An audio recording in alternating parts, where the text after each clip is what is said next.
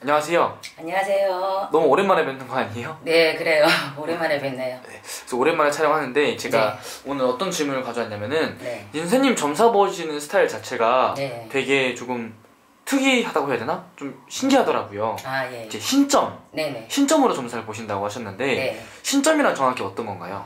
음, 신점이라는 건 뭐 신점이나 0점이라고도 많이 하는데 음, 똑같은 말이에요. 똑같은 말이고 어, 신을 저희 같은 사람들이 이제 신을 받고 나서 어, 영적으로 그러니까 신점, 신, 영적으로 보는 게 이제 신점이라 그러는데 음, 배워서 음, 배워서 하는 점사가 아니죠. 음, 네, 신점이. 그러니까 생년월일을 넣지 않고도 점을 볼 수 있는 건가요?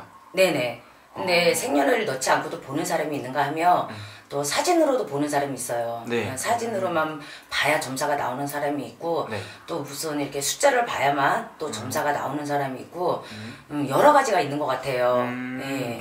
저희 같은 경우는 주로 점사를 보러 간다 하면은 이제 네. 생년월일 그리고 태어난 시까지 주로 이렇게 들고서 점사를 보러 가잖아요. 네네.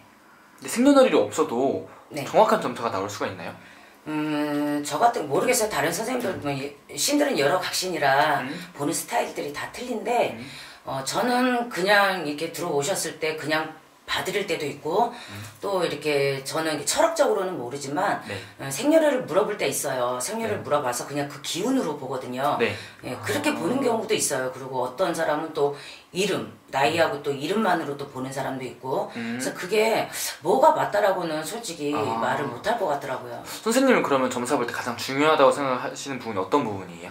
음, 뭐로 보든지 간에 뭐 철학으로 보든 뭐든 보러, 보는지 간에 그냥 손님이 어, 답답한 게 있을 때 오셨든가 답답한 게 있어서 오시잖아요. 네. 그러니까 그런 마음들이 다 이렇게 풀리고 가셨을 때가 그냥 가장 음, 잘 음. 봐드린 게 아닌가 싶어요. 그럼 예. 예를 들면은 뭐 손님이 뭐 몸 어디가 뭐 예를 들면 암에 걸린 손님이 왔다 네네. 그러면 선생님은 어떤 느낌을 받으시는 거예요?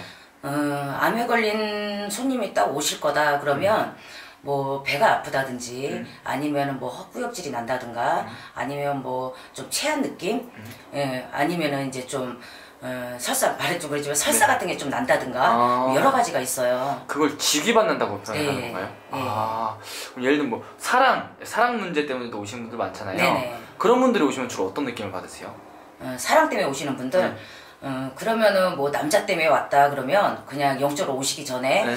아 남자 때문에 왔다 이게 영적으로 떠요 아니면 아. 뭐 여자 때문에 왔다 뭐 이런 네. 느낌으로 받는 거죠 이제 저희는 음, 아, 그렇구나. 아, 근데 되게 신기하네요. 선생님도 점사를 보시다가 네 선생님도 신기한 경우가 좀 있으세요? 있죠 아, 그래요? 네 있어요 어, 어 이- 진짜 이게 맞구나 어. 이럴 때 있고 어 신기하다 이럴 때도 있어요 아, 네.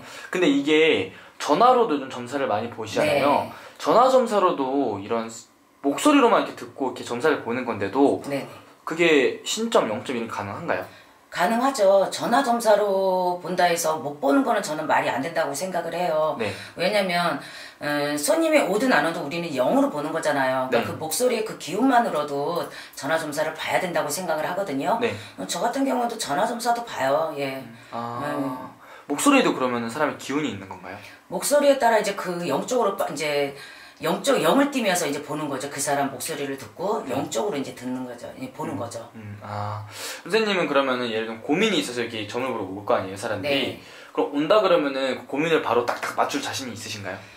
음, 글쎄 100%다 맞출 수 있다라는 거는 거짓말이고요. 그래도 한 8, 90%? 음. 예, 이 정도는 맞출 수 있다고 생각해요. 어, 되게 솔직하시네요. 네. 알겠습니다. 네, 감사합니다. 네.